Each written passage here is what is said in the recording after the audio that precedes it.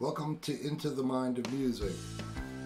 My guest today is a keyboardist who never seems to run out of ideas. He can write songs in any genre rock, jazz, blues, Latin, pop, you name it, he can write it.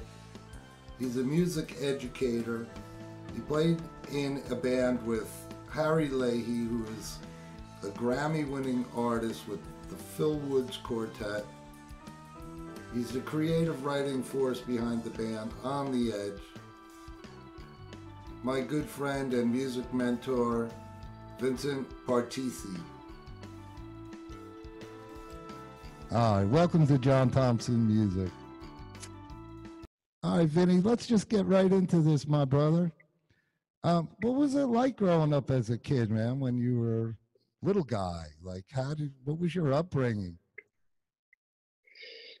Well, I was brought up in an Italian family, and I went to Catholic school. In the second grade, I was uh, seven, and uh, the teacher, he offered music lessons on the accordion, either accordion or piano. But we could afford a piano, so I went. My mom took me to Keyport, and there was an accordion place there. We picked out an accordion, and at seven years old, I started to take lessons, reading music. I went from the uh, 60 bass to the 120 bass. At that point, I was about 10 years old, and the accordion was like bigger than me, you know. And I used to go to these um, accordion uh, contests, you know, uh, for all these accordion players. And I'll never forget, uh, I won the contest twice, and then I had to move up to a new level because I turned 11. So I had to go with the 11 to 13 year olds. Uh, you were getting old at that point, 11. I was getting old, yeah. And let me tell you, at 11 years old, I, I, I blew through a bunch of accordion. I had talent. I had some talent. So my mom and dad put the money in. She took me for the lessons. And in my day, just for all you youngsters out there, if you didn't practice your half an hour, you didn't eat. it was a very simple thing. they wouldn't let you, you eat. know, and no, man, no. You got to finish your half an hour. Now, my I eat a lot of cold suppers, but um, I was always motivated to finish practicing by five o'clock because at five o'clock, the ice cream truck came. Sam, the ice cream man. Sam was an interesting character. He used to be a uh, a taxi driver at Newark, and he had one eye. He had an eye patch. He only had one. He got shot in a robbery my father told me the story years later. So when Sam the Ice Cream Man came, I always wanted to be done practicing. Anyway, the big song on the accordion was Lady of Spain. Okay, da da da da da da da da. And uh, know, so when I was 11, I tackled that, but I didn't win the contest. I came in second, so I was pissed off. So I said, I says to my mother, I said, "Mom, I didn't win." She says, "Well, Vincent, you're only 11. You know, my mother was right. Well, you know, you know, uh, you knew my mom. Uh, she was the inspiration for everything I did as far as artistically. So um, I quit the accordion because I didn't win, and I started playing piano. That's when I was 11, and um, what we did, we had to get a. Uh, I used to go to my neighbor across the street, play the piano. Uh, then about, I got into uh, eighth grade, and I always would play the piano at the school. All right, but I still, my parents still couldn't afford to get a piano. And actually, I didn't. The first piano I had was actually the Fender Rhodes 88, which I bought later, like when I was about 13, 14. And that was um, the hip. That was the hip thing to have. Then. Oh, you had to oh, have. Man, it was like you... it was like fucking 120 pounds, and like, you know, I couldn't. I mean, I was I was 120 pounds, so it, it was a little bit rough. It's rough to carry those things. I always felt time, sorry for you guys back in the day with all that oh, stuff. oh man, it was all heavy. It was heavy, and I just want you to know that over my shoulder, I have that Fender Rhodes right here in my studio, and um, I've been playing a lot lately. Uh, it's just, John, forty-five years, and it's in perfect tune. Mm. It's in perfect wow. tune the Steinway cannot compete. The Steinway, I'm sorry to say, I mean, it's a great piano. I have a 1948 Steinway uh, S, you know, baby grand. But the, the Fender Rhodes. So anyway, it built up my hands because it's not easy instrument to play. So when you're only 13, 14 playing this thing, all right. And then I remember, um, well, gee whiz, let's see. I remember then getting into my teens and, you know, of starting being bands. And so that's where it all, all came together. And um, I got a Farfisa organ, the compact duo, I think it was called. And I was set. I had, I didn't take the Fender Rhodes out. I took the organ on the gigs. And then when I got a little older, uh, I started taking the Fender Rhodes out because I was in bigger bands. We were playing. Well, back in 1976, I was in a band called Southbound, and we were on the circuit with all of these other groups down the shore, like the Rum Runner, the Kerner's Garter, the Brothers Three, the Playpen, the Arrow Lounge, oh, Julio's, right? Are there memories, right? Wasn't it glorious back then? It was it was absolutely crazy in New Jersey back then. It it was like a fantasy land back then. It was, believe me, if the people nowadays that are breaking into music and are in their 20s would know what the scene was like in the late 70s and 80s. No matter where you you didn't have to bring anybody to to to see you, you know. They were there hundreds of people. I mean, the, how about the Squires Inn in Far Hills? They had three rooms. They had a disco room, a hard rock room, and a lounge. And throughout the course of my little career uh, in the 70s and by about the mid 80s, I played all those rooms, you know. And then finally, things changed. Things changed in the 80s when they ban- they started banning smoking in the clubs. Uh, in 1981, uh, I went on the road with with a band, and we uh, went on the road for Stan Klein Agency. And you had to see that, boy. I had the Fender Rhodes. We we had a U-Haul on the back of my Chevy Impala. the trunk of the Impala could have fit. Well, you know what was in the trunk? My bandmaster cabinet, which was pretty much as tall as as me, you know, and the bandmaster head. And then in, in the in the U-Haul was the rest of my, you know, the Fender Rhodes, and um, I think I had an ARP pro soloist synthesizer. They were they were great days. Uh, we went out on the road. Uh, we were called the First Light Band, and we opened up for some some major big acts. We met some some really good people like in Detroit. We met Bob Seger one night. He was just hanging out at this club. Don't forget, this was 1980, 81. So he was already kind of, you know, pretty famous. But he, you know, just like Bruce, we'll go hang out uh, down the shore. So um, anyway, I'll tell you one quick story, then we'll move on about the Fender Rhodes since we're on that subject. So we there used to be a place called um, the Binghamton Ferry, and it was a. Did you ever know that place? It was docked off of Fort Lee, up mm. by hmm. Fort Lee. It was a. It was an actually boat, and it was a big disco on on the water, right? So I remember we got a gig at the Binghamton Ferry, and we went, we had to go on the dock, you know, some dock up there in Fort Lee, around Fort Lee anyway. You, you don't have to quote me on all this, a little fuzzy, but yeah. I do remember taking the Fender Rhodes out of the car. And there's this guy, this big, heavy, uh, you know, strong looking guy. And he says, Hey, you want me to help you with that? I said, Sure, you take one and I'll take the other. he says, No need to do that. He took the freaking Fender Rhodes 88 and put it on his shoulder and carried it like 300 yards down the pier in, onto the boat and put it on the stage. I, it was the greatest feat of strength I ever saw. Later, I found he was. Uh, I, I said, thought you were going to tell me not, he was going to pick it up and said, "Nah, forget this." He threw. No, he put it on his shoulder, carried it all the way into the boat, and it ended up that that that man was Bobby Czyz, the fighter, the boxer. Oh, that's who he was. I didn't know who he was. But that this was again like in the late 70s, early 80s type of deal. And I don't even know when he became uh, real famous as a boxer, but it was Bobby Czyz. And um, everybody told me later, you know, I looked for him when the gig was over, but he was gone already, so I had to carry it myself back out of there. yeah, where'd that guy go? You know, at the end of the night. Where are you at the end of the night? Man, John, how many gigs right. did we play? I mean, just it was a scene, like you said, John. it was a scene like you'll ne- you may never see again. Yeah, I mean the drinking popping. age was 18, right? The Yeah. drinking uh-huh. age was 18. Yeah. They they lowered the drinking age, and every place you went, there was 700 people, 750 people kept capacity clubs, and Art Stock had all of those rooms with all. the Oh, Art Stocks. and, Oh God, all his know, clubs. all Yeah, rooms, you know. So we had a good run.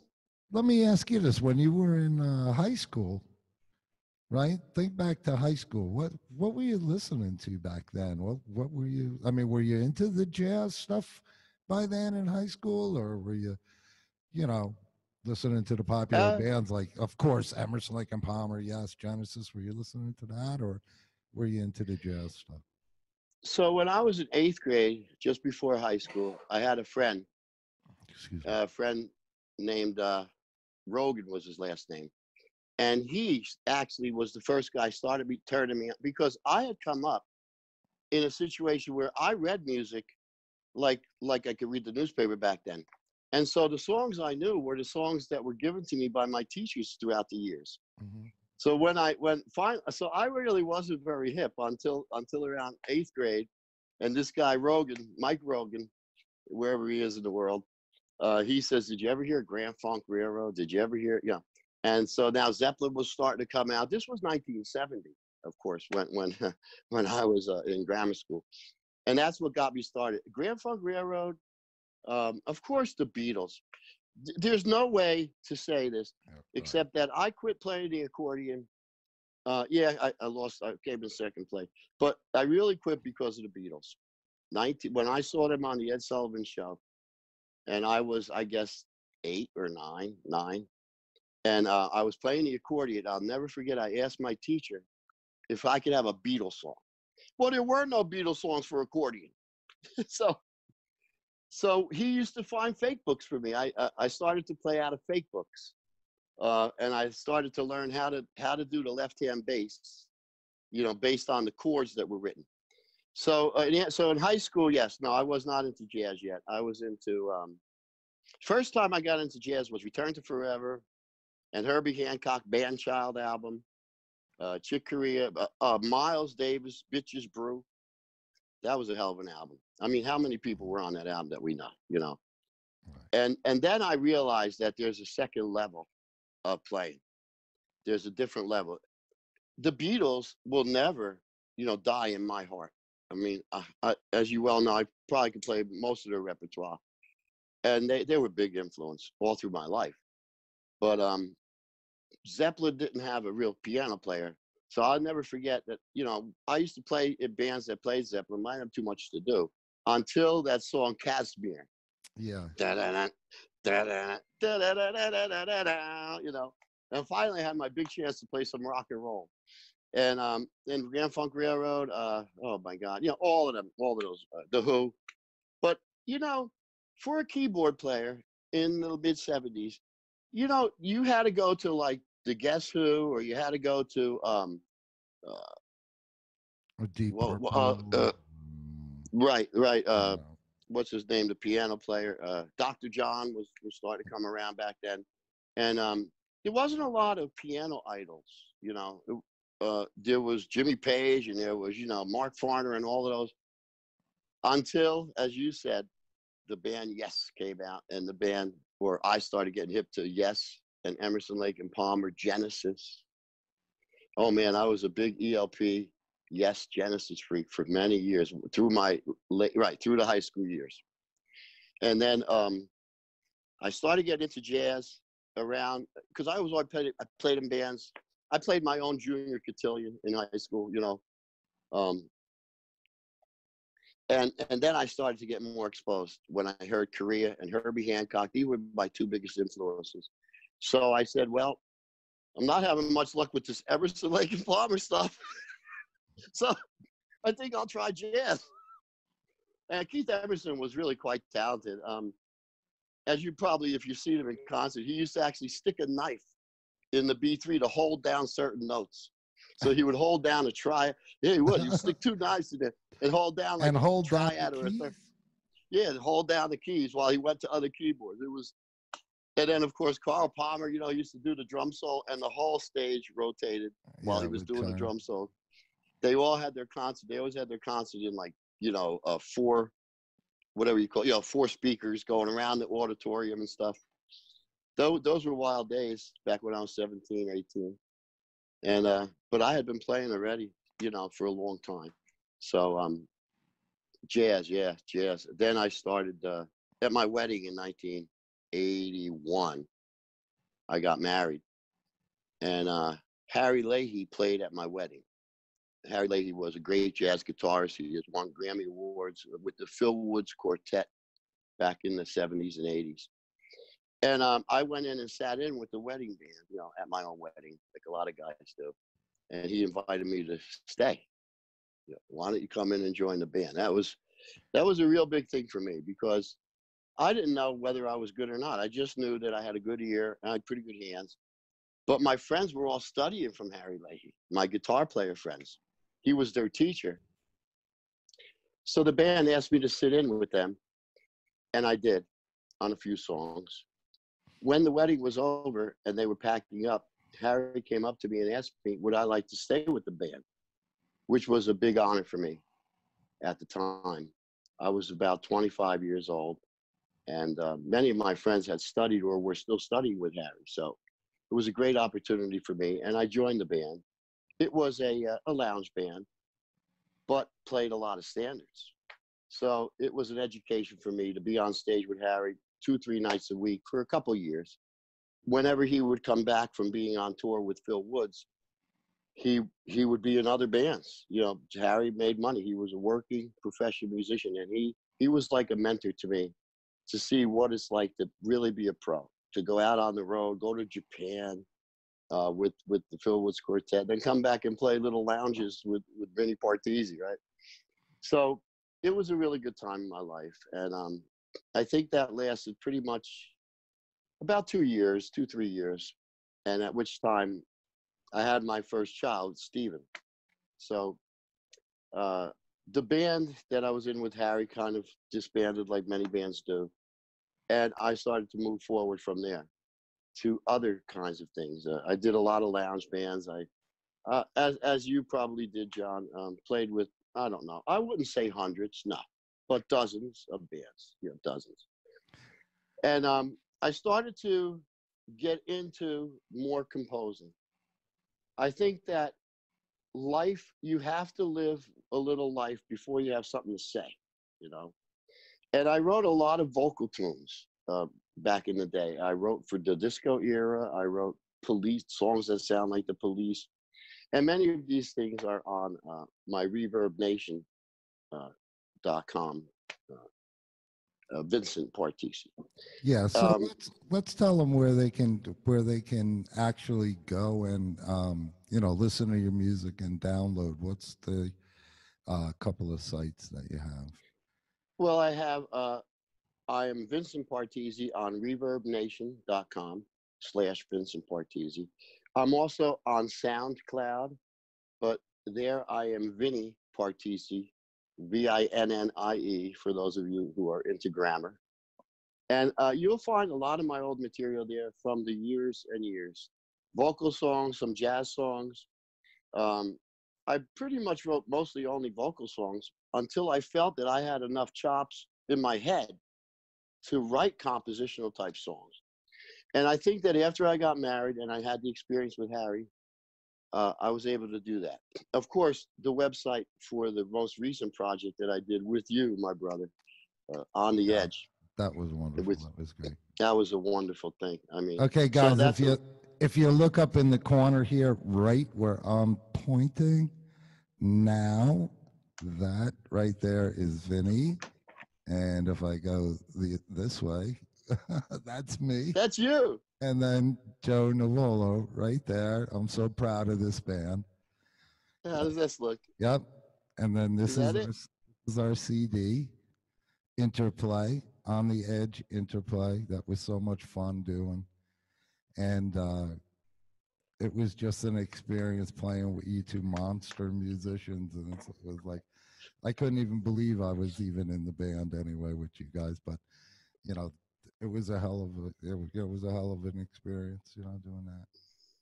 You know, John, I met you at least 20 years ago, I would say. Mm-hmm. Long I mean, at jams, a long time.